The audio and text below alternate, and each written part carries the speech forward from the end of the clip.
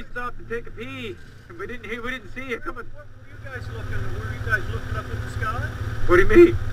Right on the side of the Right on the side of the road. You, you didn't see the caribou there? The caribou? No, where? Right back there? Might have been a little moose. Oh, they said there was a caribou or a moose back there. Might have been a moose. I couldn't see anything in all the dust. guess it was a moose.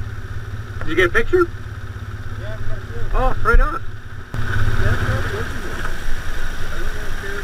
Because all I seen was. Yeah, I didn't even know what I was like, holy jeez, I thought you were going to swerve around. No, I wouldn't have swerved around.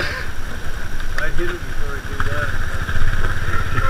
Well, you get a good steel bumper on there. No, no, I mean, he was letting him out. You guys must have missed it standing right on the side of I the didn't, road. I didn't see it. Maybe he heard us. He was standing right there. He would have been right. You can't have seen him. I didn't see anything. That's because you were too busy enjoying the it was fun. enjoying